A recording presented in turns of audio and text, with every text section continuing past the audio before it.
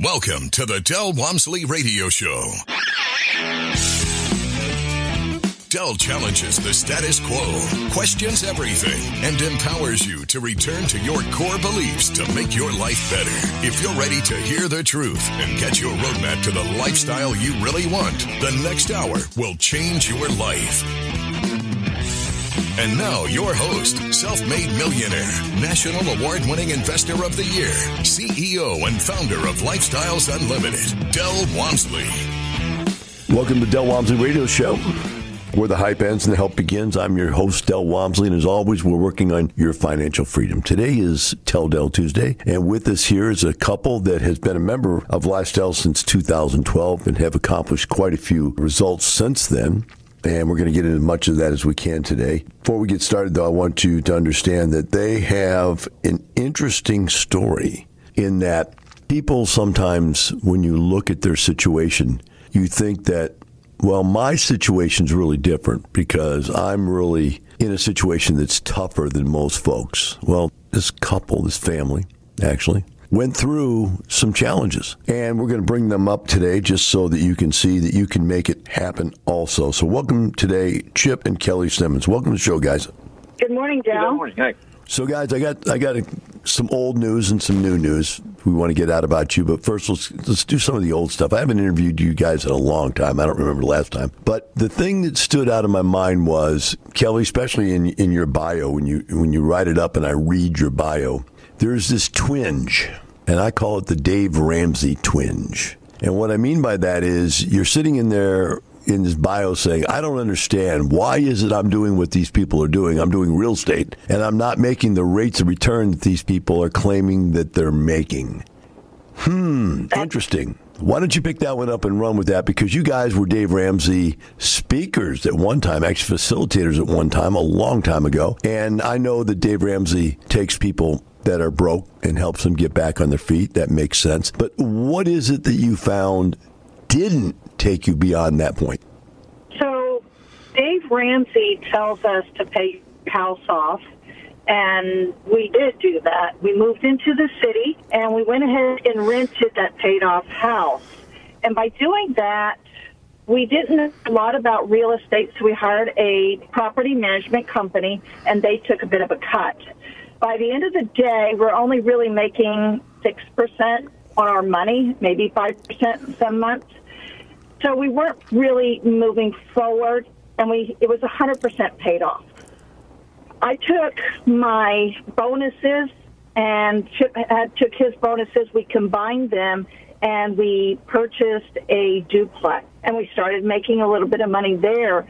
But it would take us years to put together a down payment for our next property, and it just seemed like it was taking forever.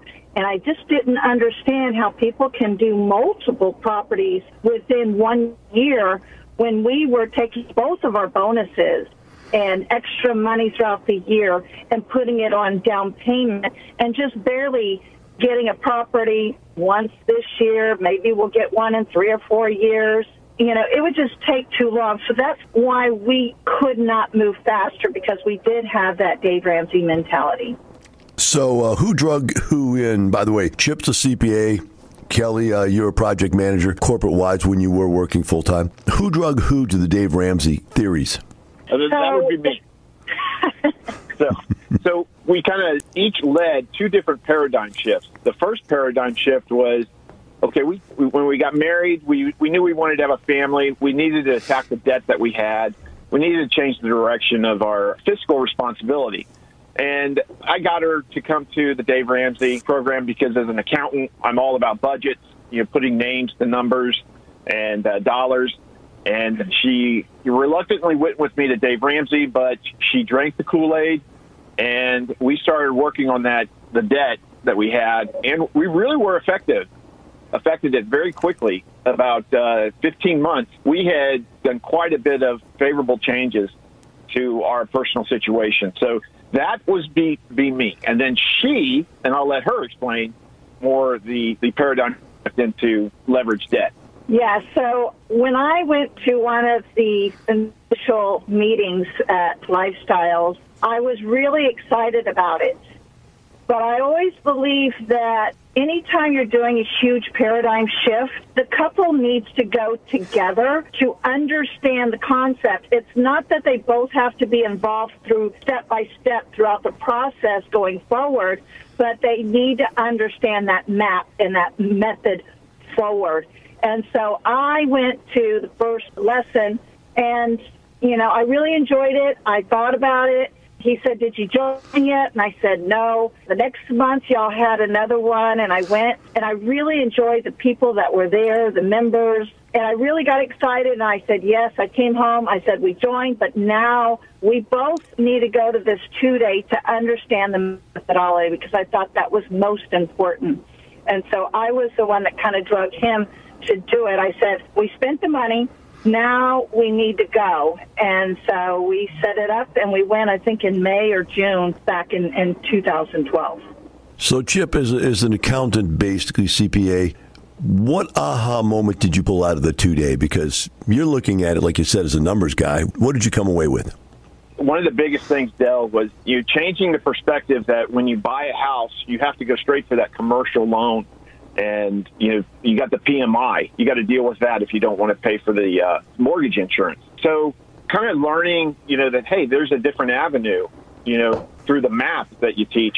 It circumvent kind of the long, drawn out process that I would have, without going to um, lifestyles, would have understood how to try to build a real estate portfolio. So there was a big aha moment there, learning how to you look at a, a depressed value property and then get a hard money and then get after repair analysis and then then move into a, a, a conventional. That was something that was brand new to me, and it was certainly an aha. That's an interesting step, and that's a that's a, a fascinating strategy as to how to uh, mitigate what I thought were the long drawn out processes to build a real estate portfolio. Kelley, how about you? What was your aha moment? You know, I really enjoyed the first day with the single families. I thought that's interesting. You know, that could be completely doable. The second day, when I showed up, y'all focused on multifamily. And that blew my mind. I was so impressed by it, and I thought, oh my goodness, is this the route we're going to go? You know, I was just so excited to get home and see what was going to be our strategy. And Chip looked at me and said, "Hey, let's sign up so that we can get into um, multifamily down the road." And I was just super stoked about that.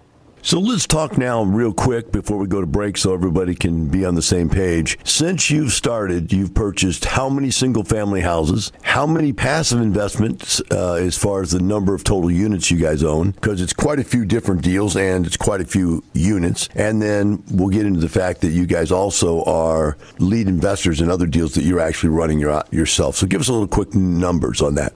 So we bought and sold several homes. We're, we're currently have five single family homes.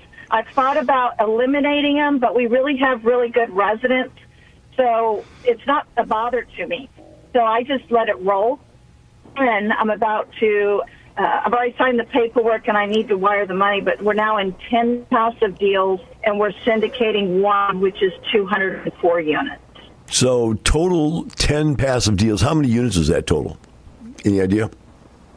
Oh gosh, I you know I generally don't look at units. I look at you know how much we're investing in, and so we really try to focus on you know getting a good amount invested in each one of Yeah. them. So Yeah. thousands. It's about 100, 1,200 units. 1,200 units. Okay, we're going to take a short break. We'll be right back with Chip and Kelley Simmons in the Del Walmsley Radio Show.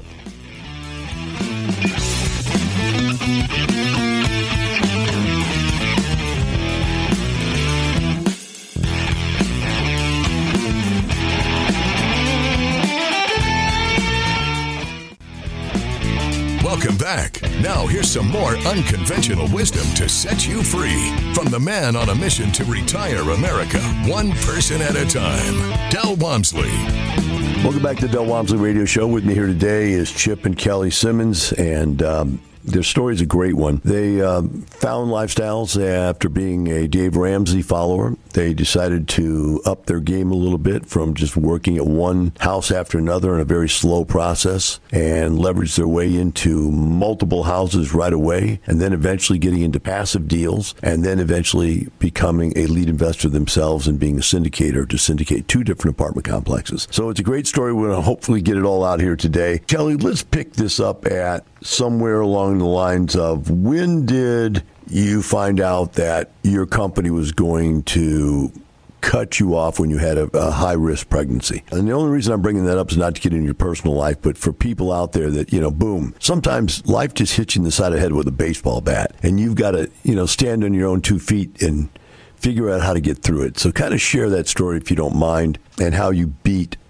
that problem. Sure. I don't mind at all because I think getting to know somebody and how they got somewhere, you know, it's not always easy to get where you want to go. There are challenges in life, and you have to make decisions to get to that destination. So when I worked for an oil and gas company in, in San Antonio for 10 years, and as I was working up the chain, becoming a project manager, uh, looking to be a senior project manager, getting on very good uh, projects, uh, one of the jokes on Facebook, I, I post a lot of train pictures, and your listeners, if they're on my Facebook, they'll laugh about it because one of the biggest projects I was on before I got pregnant with my son, uh, who who is Down syndrome. His name is Kyle. He um, had three holes in his heart when uh, when he was in utero, and I was on a train project for California to fix um, that issue um, out there, uh, a software, uh, putting out a new software system. So at the time, I was working really, really hard. I had proposed it uh, the year before. It got approved. It was, you know, I had just started getting my team together who I was going to utilize in California. I was super excited about it. And then I found out I had a high risk pregnancy and I was going to the doctor's office very frequently and making sure that he was okay and that we were on track. I was still able to manage my projects, but they were they did not like that. So they took the project away from me. They de, they demoted me to back to a business analyst, but the work that they gave me to do was a business analyst juniors type of work. Um, menial tasks, they couldn't take away my pay because I had done nothing wrong, uh, but I was pigeonholed. At that point, I knew there was no return, no coming back from this, and I had to do something. I had one foot in real estate, and I was, you know, it would get to a better point. And once I had gotten into lifestyles, which was actually right before I got pregnant, I was learning mode. Uh, I always believe everybody needs to learn first before they jump in. And once I started understanding, and even when I had him in the hospital, I was buying single family homes from the hospital bed. Mm-hmm. so it's kind of funny. So that, oh, that I, un- I, understand. I bought an apartment complex when I was in the hospital, so I, I get you. The the thing that's interesting to me though is that eventually you let go of that corporate America job. So you got Chip and you both have great jobs, making good W 2 income, and you elected to let one of them go. Had you built up your passive income at that point when you made that decision?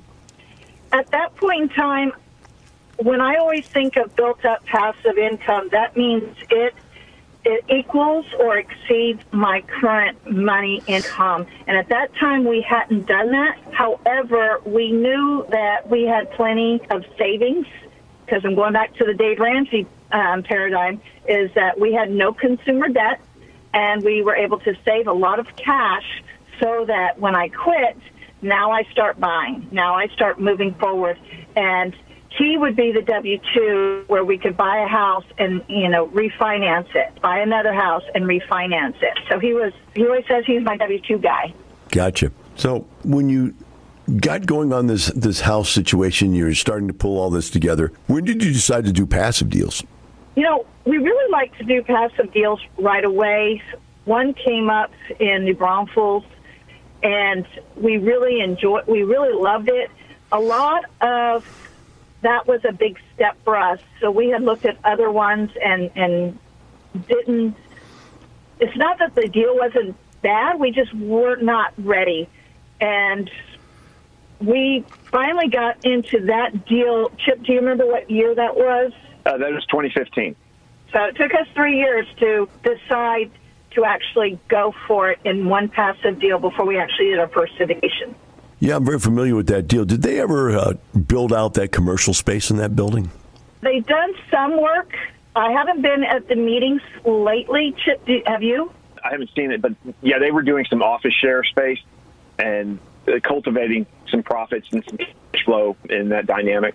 Yeah, that that property's probably gone up quite a bit in value. I would assume since uh, 2015. Yeah, it's one of those properties where we we kind of look back, wish we would have put in more, but you know that's typical. And uh, it was a good start off passive property to get into because uh, we could see the fruits of uh, the hard work that the leads were doing and um, kind of the, the distributions that were coming out of it to move.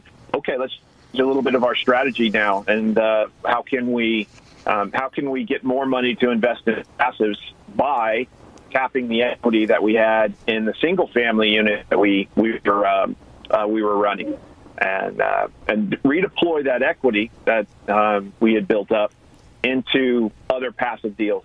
Kind of followed that. Yeah, that's an interesting balance when you're sitting there and you, you have some money in the bank and you're looking at it and the weight of, I do this all the time, so it's in my brain constantly. Is like, okay, if I take another million or two out of over here and stick it over here, I'm going to make, you know, another $10,000 a month in cash flow. But do I want to take that million or two or do I want to just keep that million or two there? You know, the security of having cash compared to the security of having income. And you know, if you have the cash, eventually you're going to use it up if you don't have enough income to live off of. So that there's that balance that goes back and forth. 10 passive deals, 1,200 units you came up with right before the break. When we come back, let's talk about being a lead investor. We'll take a short break, be right back with Chip and Kelley Simmons and the Del Walmsley Radio Show.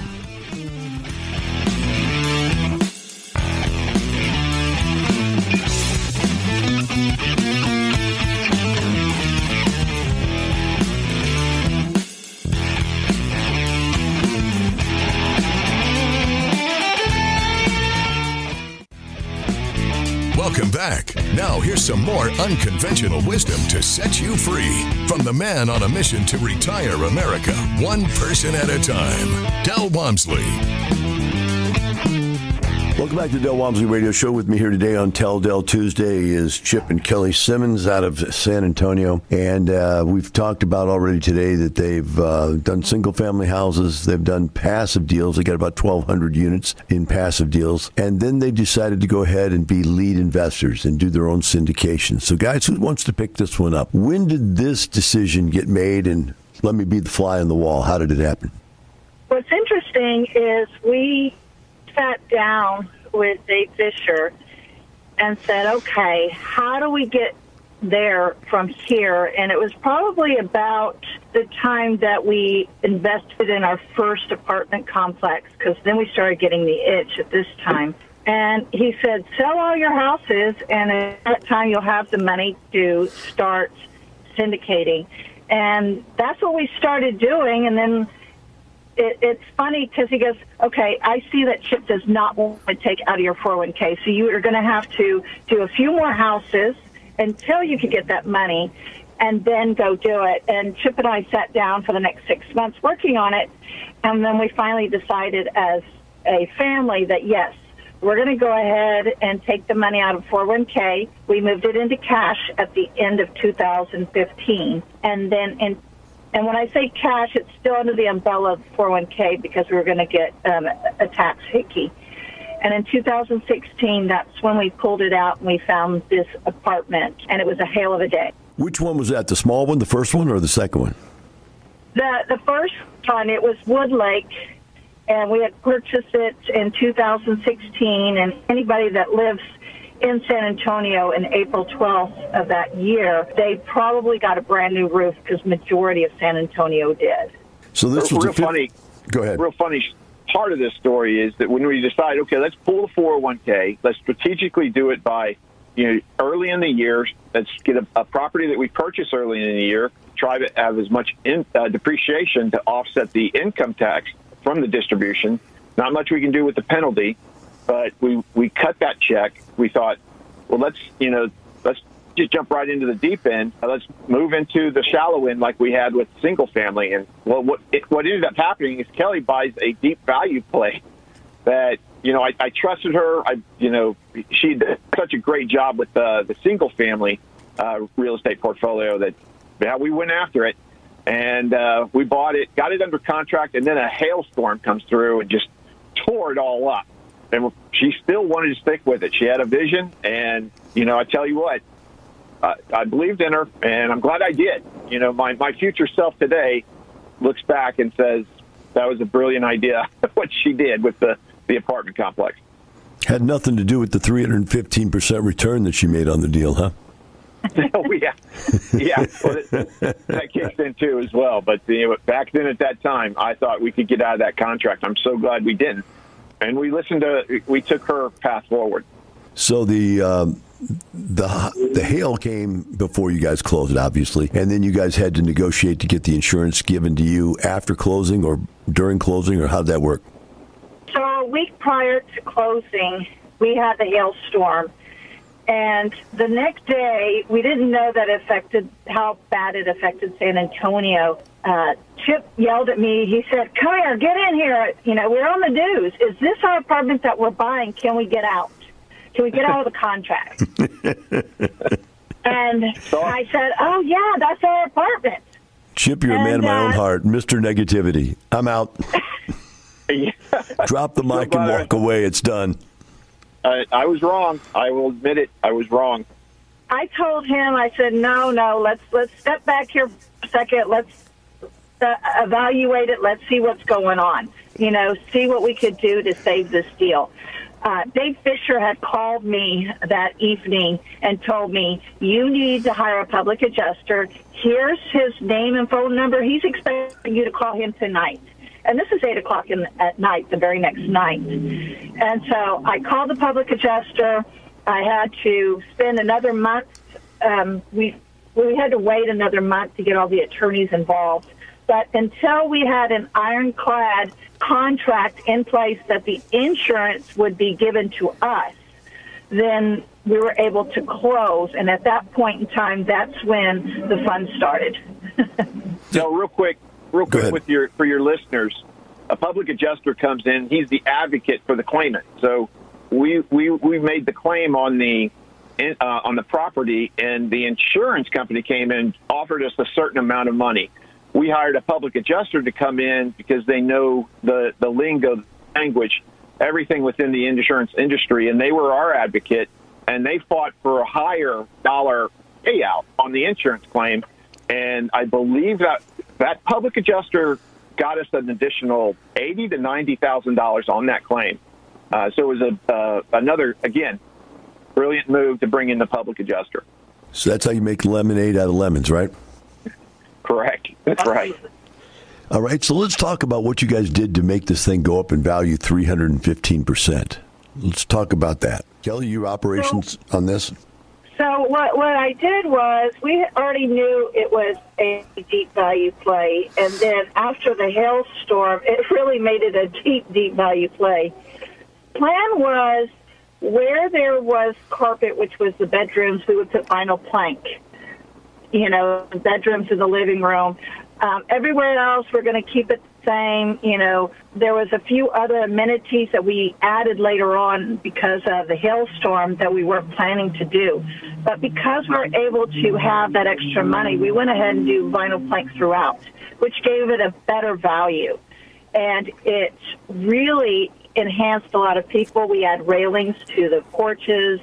We we added a playground, which was not in the budget, but we had it now because of the insurance. We had a brand new roof.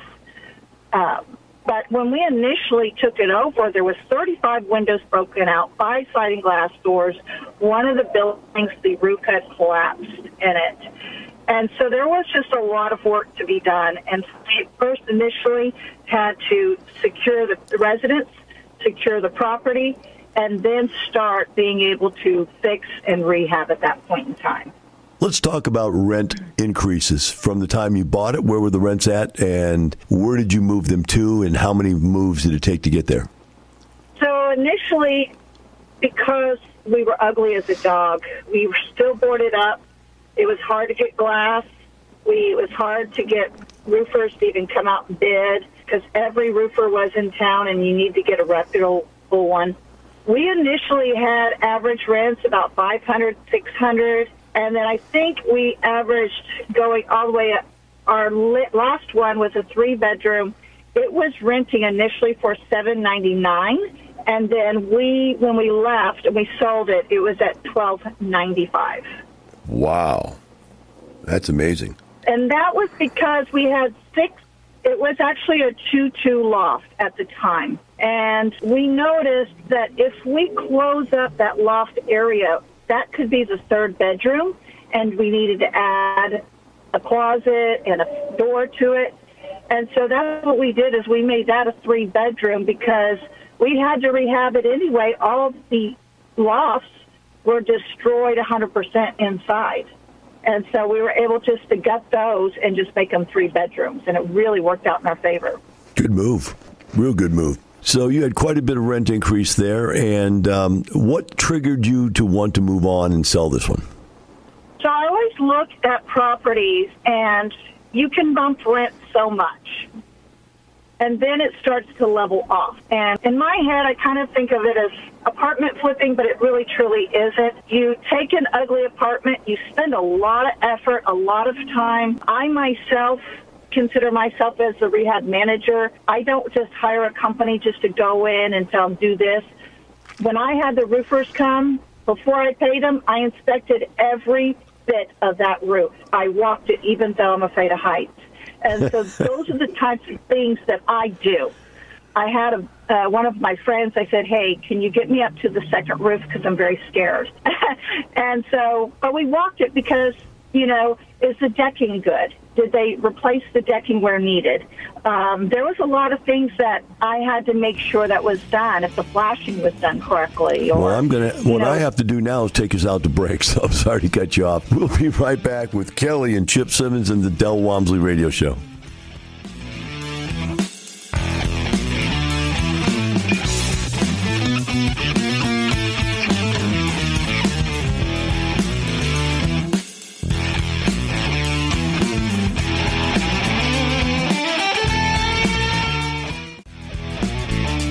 Back. Now, here's some more unconventional wisdom to set you free from the man on a mission to retire America, one person at a time, Del Walmsley.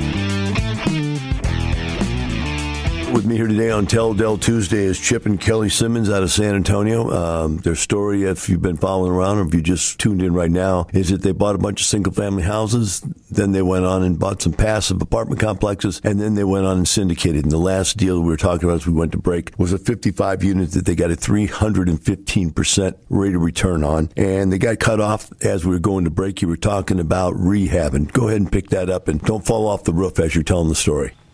So I would I would go on the roof and make sure everything's done. I would ensure all the rehab was done. At the end of the day, our motto is building a better community. And that's what I really enjoy. I, I get bored on Yield Plays. So once we got it established, there wasn't anything for me to do. Um, my staff was running well. We had it at an average for the last two years before we sold it 97% occupied. So I wanted to try something new. I took some time off and then I tried something new and purchased Horizon, which is my next um, apartment that I'm rehabbing and making it a better community. Now, this is a much larger project. This one is 204 units. And where is it located at? Is this in San Antonio also? That's correct. I prefer, because I have a family and little ones, I prefer to have my apartments real close to me so that I can be on site because I am overseeing the construction of it. Okay, so basically, project manager, that's what you do, that's who you are. You're a project manager by nature and by education. And so you're taking on these projects. And it's interesting because when you make the statement, I've got to stay busy, there are people like that. I, I mean, I get it. Just if you had nothing to do, you would go crazy. You have to have something to do. But for you, you've got three kids, a husband, a home, a bunch of single family houses, and you need something else just to keep you busy. That's interesting. So, with multifamily or real estate in general, you choose your hours to work or what you want to focus on. My kids are in school all day long. So I could do gardening, which I enjoy doing too, but that's only so much time. And so I do that during the day, and then I used to pick them up from school, but now we have retired Chip out of the W 2 world as well. And now all he does is he, you know, does a small book of business that he prefers. And, um, you know, he picks up the kids and we spend the afternoon together with the family. Wow, Chip, you turned into a house dad, huh? Uh, it's it's crazy, Del. Crazy. I've never experienced anything like this, but uh, you know, I, I'm spending more time with my kids, and I love it. You know, pick them up after school, and if we want to go have an ice cream, we'll go have an ice cream. And uh, uh, I'm away from that. You know, the the desk that wouldn't let me leave, uh, and the employer that wouldn't let me go when I when I needed to. You know, or is just all that headache is gone and, you know, we've retired. First, we retired Kelley, and we worked the map and the strategy, and we've retired me now. And uh, it's freed me up. And, you know, it's freed me up to help Kelley. I'll do the, the family finances, and now she can focus really as a project manager on this new property. Wow, what a great story. Is there any way you can even share with anybody how different it is to be coming out of that accounting mentality? And in, basically, I was an accountant by by trade or by education. Let's call it by education. My dad was a CPA by education and by job title. So when I was doing accounting, I've always found that you could always find more stuff to do. I don't know why. Yeah. But yeah. you can always find more stuff to do. And when I let it all go and I'm just sitting around the house now and I'm like, okay, what are we going to do today, honey? Pretty weird feeling, huh? You know, I'm still acclimating to it, but it, it is, you know, uh, I've been in public accounting. I've done a lot of tax work. I've been as a CFO for the last 13 years. And, you know, you just get into that. I've got more things to do than I have time to get them done, it seems. And when you move out of that rat race, that executive or that desk job that you're chained to, it seems like at times, it's hard. Trust me, this isn't hard. Uh, I am acclimating well, I think. And uh, it, it is, it's been fantastic. And, uh, we, you know, we worked really hard. We had a, I think, a very good strategy. Kelley, as a project manager, is really well, does really well with this type of stuff. And me, as a W two, we kind of that's kind of how what we've been working for the last eight years. And you know, where we are, it's from you know working a map that you provided, and I think it, it's been fantastic, and we really appreciate it.